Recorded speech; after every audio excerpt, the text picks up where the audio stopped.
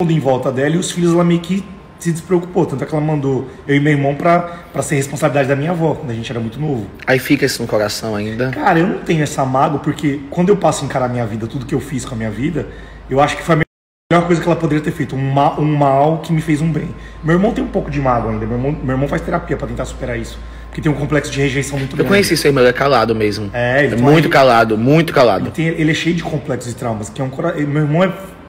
Ah, Então o contato de vocês não foi com sua mãe, com seu pai esse tempo todo, né? Não, quem, quem é minha mãe de verdade é a minha avó que faleceu agora durante a pandemia.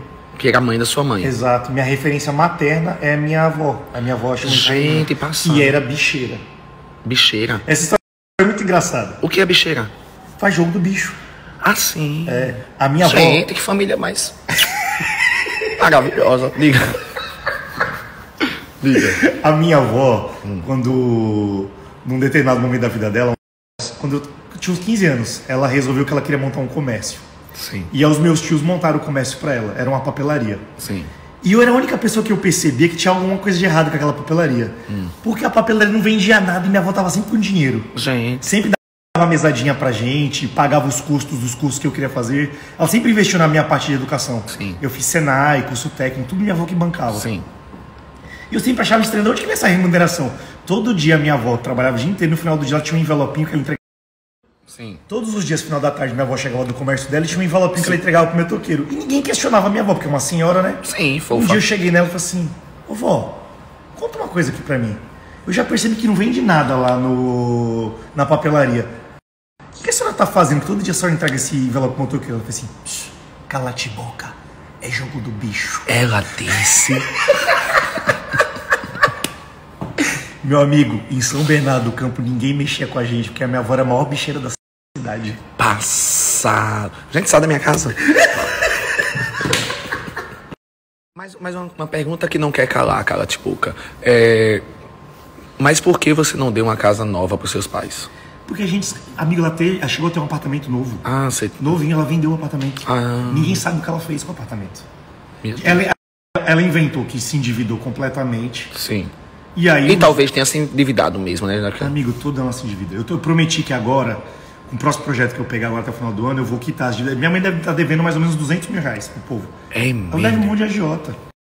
Amigo, minha mãe é um coração do tamanho do mundo. Minha mãe, os irmãos, tem um irmão da minha mãe que endivida a minha mãe inteira, o tempo inteiro. Ele tem um comércio e ele usa o cheque especial dela o tempo todo. Gente, que Ela- baixaria. Ela não se controla, a família é complicadíssima. E eu não, eu não quero ter essa responsabilidade de querer cuidar de tudo assim. Mas você os ama. Claro que eu amo, eles são incríveis. Você vai, você vai muito lá? Não, eu vou pouco. Eu, não, eu, não- eu tenho uma. Mas sempre vai, que eu já soube aqui, que você, de vez em quando você vai. Não, vou, vou. Eu fui, eu fui almoçar com ela agora durante a, do meu aniversário do ano passado. Fui lá. A... Mas Dione, você fala quantas línguas, cara? Quatro. Você fala quatro línguas. E você nasceu naquele lugar lá da sua mãe. Sim. E aí, meu Deus, e você foi embora pro mundão e disse assim: Eu não quero essa realidade, não quero essa vida. Cara, eu nunca aceitei. Uma coisa que eu quero falar pra quem é seguidor. Às vezes, as pessoas que mais amam vocês não têm os melhores conselhos de vida pra vocês. Por exemplo, o sonho da minha mãe é que eu tivesse um emprego de carteira assinada. O Ass- assalariado. emprego- é, assalariado. O meu primeiro emprego foi como caixa de supermercado. E eu sonhava muito grande, eu sempre sonhei muito grande.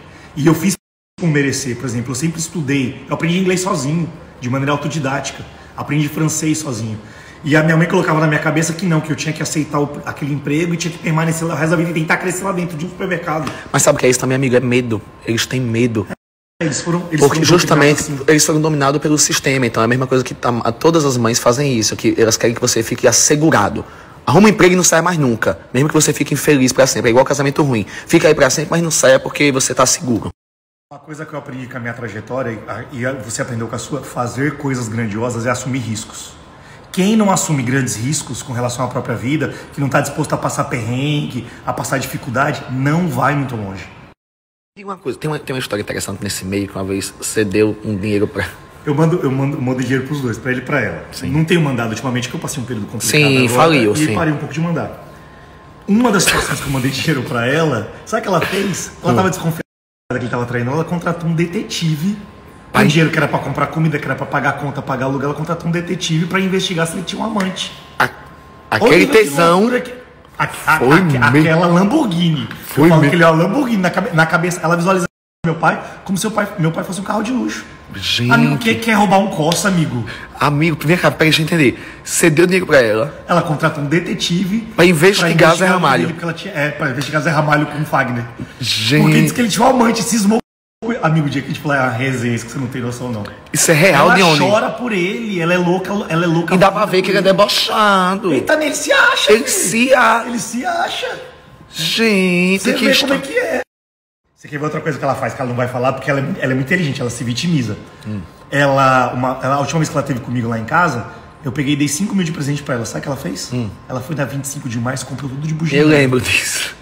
Amiga, ela gosta de volume, ela gosta de comprar Power, gosta de comprar pano de prata. É igual a E minha eu- mãe, é acumuladora, né? Cara, eu não ligo. Tipo assim, quem vai priorizar o que ela vai fazer com o dinheiro é ela, mas toda vez que dá um presente em dinheiro pra ela, quer ver, eu levo ela num restaurante em São Paulo pra uma experiência bacana. Sabe o que ela fala pra mim? Quanto que vai custar aqui? Ah, mãe, vai custar uns 300 reais. Eu prefiro dinheiro. Ela diz. É, falo, Certa pô, ela também, né, Jay? Falo, come que eu te dou dinheiro, não tem problema. Mas, amigo, se deixar, ela não tem limite. Mas eu sei que é isso, minha mãe é assim também. As mães são assim, é babado. Não, mas eu sei que você não é um filho vilão, não. Agora, você, Não, agora você tem muito. jamais. Você, você finge que não, mas você tem muitas marcas, viu, do passado, viu? E você tem que começar, Cara, tem que começar a superar isso. Eu, você verdade- e seu irmão, inclusive. É, na verdade, o que eu faço? Eu, eu não tenho um vínculo emocional tão grandioso com os meus pais, porque minha mãe me mandou, me mandou embora de casa muito cedo. A minha referência materna é minha avó. Sim. A paixão da minha vida era minha avó. Minha avó que me que cuidou da gente, Sim, mas aí, afeto, sim né? mas aí você chegou num grau de inteligência tão grande, você viveu tantas coisas, conheceu tantas pessoas, que aí você entende um pouco e você, como eu falo pra você, né, fora da- das câmeras, é, dá uma colher de chá, né, porque são vivências, são histórias, são traumas, né, as Sim. pessoas, as nossas mães passam por coisas e, e Tem empatia pra entender os motivos pelos quais ela fez isso. Hoje eu tenho. Hoje, de verdade, eu tenho. É. Tanto é que eu tenho um, um carinho absurdo. eu sei que é ela. difícil, porque essa coisa de pai da mãe sempre mexe muito com a gente, mas é isso, eu Você quero... sabe bem disso, que você viveu uma, uma, das, uma das rejeições mais importantes da vida, que é de, de mãe, né? Mas é babado, sabia? Porque assim, eu não acreditei. Ontem quando eu filmei, Mas sabe eu por disse, quê? Eu Vou te contar por quê. Porque você me conheceu num contexto da, minha, da vida que eu elaborei pra mim, pra acessar as grandes classes sociais, as grandes elites pra trabalhar. O meu trabalho é um trabalho feito pra elite. Você me associou àquela imagem. Quando eu te falava da minha origem, você achava que eu tava resenhando com você pra me aproximar, pra criar mais intimidade, pra pra criar, pra criar vínculo emocional. Não. Eu, eu, eu- o- a minha grande paixão e fascínio com relação à sua história é porque a minha era muito parecida. Gente. Só que você foi mais longe, né? Sim, mas é. Não, mas isso não vem. Gente, mas eu fiquei passado, assim, É. entendeu? Contraste, né? O contraste e tudo mais. E foi legal a gente abrir isso para as pessoas, para as pessoas assim, saberem. Eu falo, eu falo assim, a minha mente, eu, eu nunca aceitei a minha realidade. Nunca. Eu acho que, por exemplo, Mas eu acho que ninguém tem que aceitar. Ninguém que essa história de se conformar com pobreza é a história de gente que não tem. Isso não existe. Não dá pra glamorizar. Não tem que, tem que glamorizar a pobreza. Eu nasci assim, vou morrer assim. Não. Meu primeiro emprego foi no supermercado. Meu tio, eu levava, eu comprava livros num sebo, porque eu já, eu já mentalizava O que é sebo, querido? Sebo é um, é um lugar que vende livros usados. Ah, sim, sim, sim. Eu comprava, eu comprava guias de cidades que eu queria visitar. Eu comprava guia de Londres, guia de Nova York, guia de Paris. Eu queria saber sobre as coisas.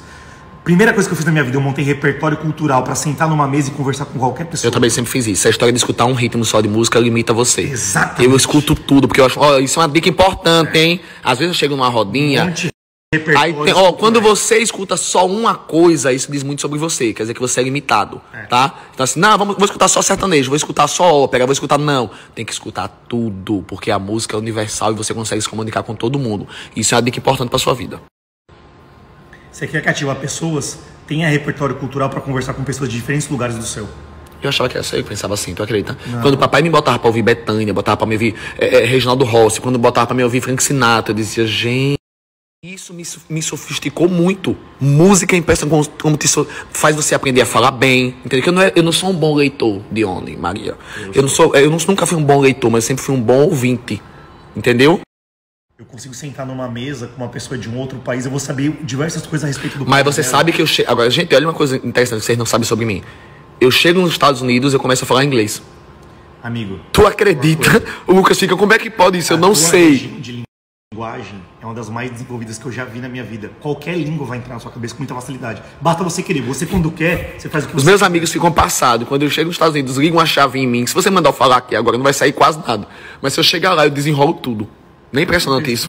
não muda. Mas sabe o que é? Mas é isso. Ah, gostei de saber mais da sua história, Dione. Eu não vou julgar. Quer dizer, julguei ontem um pouco. Julguei um pouco hoje pela manhã. Aí conversei com outras pessoas que julgaram também junto comigo e julgamos juntos. Mas é, é, talvez julgaremos um pouco mais até a gente chegar de perto e entender mais. Mas o nosso julgamento, que a, gente julgou e julgaremos e continuaremos julgando, talvez não e julgando e já voltei a julgar. É... Você é uma bruxa, né? Mas eu quero ir lá, eu quero conhecer também a versão de mamãe. Ah, eu adoro esse morar aqui, sabe por quê, ó? Aqui em cima, querido. Como descontextualiza. Ele é muito aleatório. Ah, me deixa. Eu trabalhava no supermercado de um dos irmãos da minha mãe, que era uma pessoa que estava dando certo na vida. Ele tinha um supermercado na periferia de São Bernardo. Hum. Todos os dias eu levava meu livro porque tinha um Meu Deus, o que é aquilo? Aquele povo juntando ali uma placa com meu nome ali. Rapaz, tá a galera lá embaixo esperando. Que é isso, hein, gente? Pelo amor de Deus, como esse povo cria. Diga. E aí tinha um período do mercado que era mais tranquilo. Era o período que eu aproveitava para estudar. Ali eu preparava minha mente para as coisas que eu queria viver me preencher de informações. Só que meu tio, toda vez que ele tava lá, ele via que eu tava fazendo isso, ele via com uma vassoura e dava a vassoura na minha mão. Vai varrer e vai lavar a frente do mercado. Eu passei por isso com um gerente, tu acredita? Cara, toda vez que eu tava vendendo bem, ele dizia, toma vassoura. Eu digo, vá você.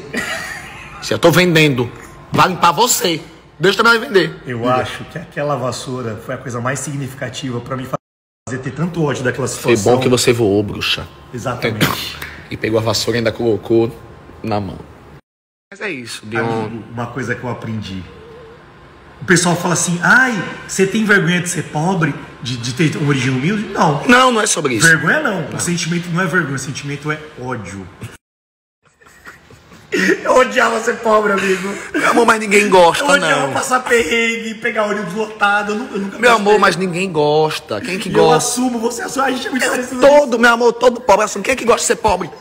Na vida, quem ah, não, eu sou pobre porque eu amo ser pobre. Quem é ser pobre passar por uma loja e poder comprar um negócio?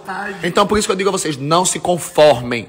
Não queiram, entendeu? Ah, não deu certo, tenta de novo. Vai para eu não queiram passar o resto da vida sem sentir o que é poder andar ou viajar o mundo, sem sentir o que é. Ah, falando é fácil, né, Carlinhos? Mas é o que eu vou falar para vocês para sempre, porque vocês conhecem a minha realidade. Até ontem eu vou dizer o quê para vocês? Desistam, conformem-se, fiquem na pobreza para sempre. Eu não vou dizer isso. Entendeu? Ah, eu não tenho o poder de chegar, entrar dentro de você e fazer, e fazer acontecer. Mas o mínimo que eu posso fazer é dizer continue. Não desistam, não se conforme. Entendeu? Porque assim, se eu tivesse me conformado quando todo mundo dizia que eu ia ser aquilo ali, tá no chão, eu teria lá até hoje. Então, muito do que a gente é justamente dos boicotes que fazem com a gente e das pessoas que mais nos amam. Lembre-se. É. Entendeu? É aí, crítica construtiva, crítica, crítica, pera, crítica construtiva para lhe paralisar no lugar, não aceite, meu amor. Na verdade, sabe qual é o problema? A gente deixa que todo mundo escreva na nossa folha. Nossa folha é única, é sagrada. Cada um teve a sua. Sua mãe teve a dela, seu pai teve a dela. Eles escreveram na folha deles. A minha quem escreve sou eu. Então eu te escuto porque te amo, mas eu faço o que eu quero porque eu sei o que, eu, o que é bom para mim. Você entendeu? E eu vou buscar até o fim. Nem que eu morra tentando, mas eu não vou me conformar. Parabéns pelo seu aniversário, desejo muita luz, adoro a sua sinceridade, você fala o que pensa, você fala o que é, você mostra o que é. E é isso que importa, é isso que vale, entendeu? Vão julgar ou não, mas só quem sabe é quem viveu, só quem sabe é quem se sente. Vou deixar aqui o seu arroba mais uma vez para que as pessoas acompanhem, entendam mais essa história e que aprendam com você a não desistir, tá? E depois dê uma casa maior à sua mãe, independente. Beijo, sigam com muito amor. As pessoas têm que entender que a gente tem que parar de glamorizar a pobreza. Não existe glamour na pobreza. Não existe glamour em você passar vontade, você passar dificuldade, em você desejar coisas e não ter acesso, especialmente na área de educação, sabe? De desejar consumir informação e não poder chegar nela. Sim, mas sabe o que é mais doido? É porque. Por que você acha que é tanta raivinha de gente como eu ganhando espaços como esse? Entendeu? Gente como tanto, nós, né? Como nós ganhando espaço. Como, sabe por quê, meu amor? Porque a gente sempre foi, sabe o quê? Só um voto. Apenas um voto. Sempre olharam pra gente como voto. Toma aí 50 reais em um bujão, vota aí em mim, acabou. Ninguém quer que você acha que ficam felizes quando vê um lascado de uma vila ali suburbana que saiu de um buraco. Colecionando obra colecionando de obra de arte e vão me ver sim mais. Aí tem gente que diz, eu gostava. Um apartamento em Nova gost... York, um jato. Que, pare, eu gostava de você quando era pobre. Não, você não gostava de mim quando eu era pobre, não. Você Usando que... diamantes. Você queria me ver desgraçado pro resto da vida. Entendeu? Devendo o povo e sendo humilhado. Não podendo, não podendo comprar nada. Podendo... E, e fazendo graça disso, né? Pessoas chegam para mim e dizem assim: ah, pô, você fazia tantos vídeos engraçados quando você era pobre. Eu digo, porque naquela época eu podia fazer, porque eu estava vivendo aquilo. Então hoje eu não vou chegar na pobreza ninguém ficar dizendo, meu Deus, sei o quê. Eu, eu, eu, eu pego a pessoa, faço de personagem para botar no contexto para que ela fique rica. Minha intenção, minha intenção é pegar os pobres que eu conheço e que são ta talentosos e ver eles comprando apartamento na beira da praia, ver comprando carro, entendeu? Realmente quebrando esse, essa parede de, de, de, de ricos tradicionais, que nada. Chegou o futuro, meu é amor, a gente faz parte dele. É internet, e a gente faz parte deles, entendeu, amigo? Minha tara é essa, quando eu vejo um lascado vindo me mostrar um carro aí que jamais teria na vida. Entendeu? Porque não é de família tradicional e porque, ah, não, quando eu vejo um. um ah, não é pra trabalhar de doméstica. Minha mãe a vida toda, não, trabalhar de doméstica, doméstica, tome, tapa na cara de patrão, tome isso, aquilo, outro, tome esculhambação, tome sei o quê. Ah, quebrou um negócio, uma besteira, um vaso, desconta o seu salário. Nunca descontei nada de ninguém. Pode quebrar coisa, relógio meu aqui, as coisas todas, eu digo, no dia que eu tiver dinheiro, nunca vou ser esse patrão que acaba pelo contrário, digo, bota seus dentes, ajeita cabelo, vai melhorar, diga lá direto, tá aqui, simbora, bora, vamos fazer um curso para crescer, entendeu? Eu não, meu amor, eu sou, eu sou regador de plantas. Tem isso na história não. Então, não se conformem com a historinha de ai, você tem que ser humildade. Humildade tem nada a ver com pobreza e a havaiana no pé. Humildade é que você tem no coração e o que você faz pelos outros. Acabou. E se o ódio com relação à sua pobreza tiver que ser sua força motivadora, impulsionadora para você sair dessa situação, que seja. Foi para mim. Eu todos os dias que eu pegava um ônibus, todos os dias que eu tinha que andar 15 quilômetros para economizar para comprar livro, que eu já fiz isso, eu odiava aquela situação. E o ódio foi minha força motivadora para querer sair dali. Que seja a sua força motivadora, não importa.